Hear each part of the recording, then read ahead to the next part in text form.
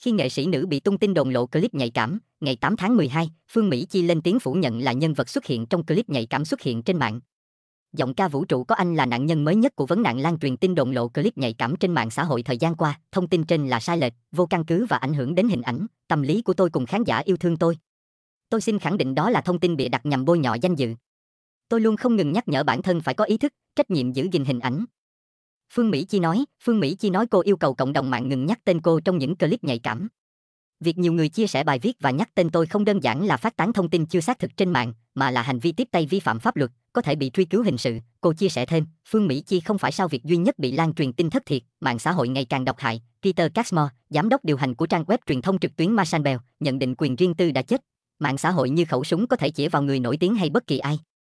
Sự gia tăng sử dụng mạng xã hội trong thập kỷ qua tương ứng với lượng thời gian mọi người dành cho trực tuyến tăng đột biến. Giới trẻ là trung tâm của xu hướng này.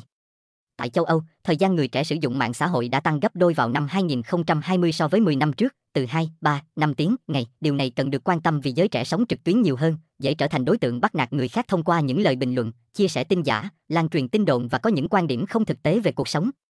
Bao gồm tung tin đồn nghệ sĩ lộ clip nhạy cảm hoặc chia sẻ công khai video nhạy cảm người khác.